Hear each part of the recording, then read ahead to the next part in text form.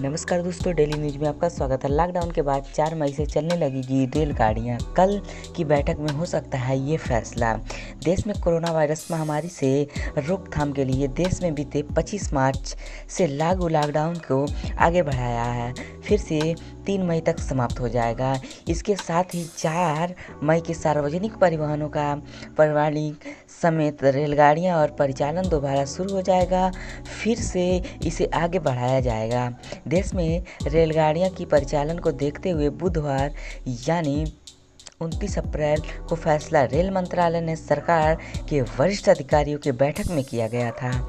इसके साथ ही सूत्रों के हवाले ये मीडिया चल रही है कि खबरों के अनुसार बुधवार को होने वाली अहम बैठक में लॉकडाउन के बाद स्थिति को देखते हुए रेलगाड़ियों के परिचालन को देखकर चर्चा हो सकती है।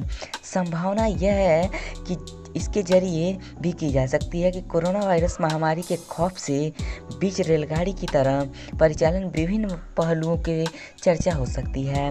गौरतलब कि इंडियन रेलवे की तरफ़ कोरोना वायरस का संक्रमण बढ़ते हुए साथ ही बीते 22 मार्च को रेलगाड़ियाँ की परिचालन रोक लगा रखी थी। इसके साथ ही लॉकडाउन में केवल ज़रूरत सामानों को चिकित्सा उपकरणों को आपूर्ति के लिए देखा गया था। मालगाड़ियों का परिचालन किया जा रहा था। इसके साथ ही कोरोना संक्रमण को रोकथाम के लिए सरकार ने तीन मई तक देश में लॉकडाउन रखी गई थी। कई राज्यों में मुख्यमंत्रियों के द्वारा प्रधानमंत्री नरेंद्र मोदी के साथ हुई बैठक में लॉकडाउन को तीन मई से आगे बढ़ाया जाने के लिए अपील की है। लेकिन केंद्र सरकार ने पहले ही ग्रामीण इलाकों में आर्थिक गतिविधियों को चरणबद्ध तरीके से शुरू करने के लिए इसमें कुछ ढील भी रखी गई थी। आसमान में दिखे यूएफओ कि अमेरिका ने जारी किया वीडियो। नौसेना ने किया ये कैप्चर अमेरिका में पेंटागम अधिक आधिकारिक तरह से कुल वीडियो जारी किए जाते हैं, जिसमें आसमान से अज्ञात यूएफओ दिखाई दी, जिसके वीडियो सामने आने आई थी। दुनिया में चौंक गई। इस तरह से वीडियो की अमेरिकी नौसेना ने पायलट के पायलटों के द्वारा जारी किया गया था। जिसमें कथित तौर पर अज्ञात हवाई यान दिख रहा था।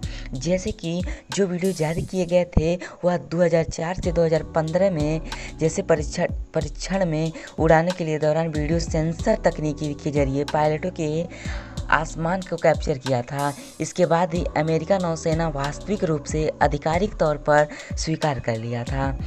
इनमें से दो वीडियो क्लिप करने के बाद 2017 में न्यूयॉर्क में टाइम्स ऑफ़ तीसरे क्लिप में 2018 में स्टार्ट एकेडमी में जगह मिली थी। डिपार्टमेंट ऑफ़ डिफेंस इन तीन अज्ञात वीडियो में जारी किए गए नौसेना ने अधिकतम अधिकृत किया था।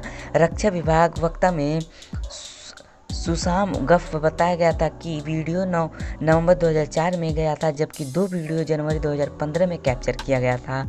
ये वीडियो 2007 में 2017 के बीच लोगों को आधुनिक तौर पर मौजूद थे। तीन मई के बाद देश में आधे हिस्से में हट सकती है लॉकडाउन आपके शहर में भी मिल सकती है छूट। तीन मई के बाद लॉकडाउन भारत में आधे हिस्से में हट जाएगी। दोस्तों, प्रधानमंत्री नरेंद्र मोदी द्वारा देश के मुख्यमंत्रियों को वीडियो कॉन्फ्रेंसिंग के ज़रिए मीटिंग के दौर मीटिंग का निर्णय लिया गया था, जहाँ पर कोरोना वायरस का प्रकोप बिल्कुल भी नहीं है। वहाँ पर दो पर हटा दिया जाएगा। प्रधानमंत्री नरेंद्र मोदी मुख्यमंत्रियों के राज्य तीन हिस्सों में बांटने को कहा है। इसमें पहला हिस्सा हॉटस्पॉट द्वारा कोरोना वायरस लागू रहेगा। दूसरे ऑरेंज जहाँ पर कोरोना वायरस के प्रकोप थोड़ा कम है, वहाँ पर लोगों को लॉकडाउन जारी रहेगा। हल्की फुल्की छूट दी जाएगी और जहाँ पर ग्रीन जोन है, वहाँ पर कोरोना वायरस के एक भी मरीज़ नहीं है, वहाँ पर लॉकडाउन हटा दी जाएगी। पीएम मोदी हॉट स्पॉट द्वारा नॉन स्टॉप, जैसे दो शब्द का इस्तेमाल किया, जैसे कि दरअसल कोरोना महामारी से निपटने के लिए सरकार ने, दोस्तों, भारत में जैसे ज़िले तीन भागों में हॉट स्पॉट के red zone, non stop, orange, green zone में बांटा गया था।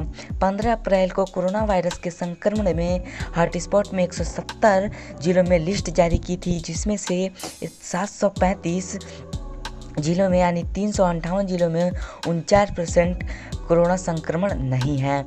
ऐसे में अगर आज पीएम मोदी मुख्यमंत्रियों के बीच बातचीत की तो माने देश में आधे आने उनचास परसेंट लॉकडाउन हट सकता है, क्योंकि यहाँ के लोग कोरोना में संकट से खतरे से बाहर हैं। अगर वीडियो को अच्छी लगती हो तो लाइक, कमेंट और शेयर करना ना भूलें।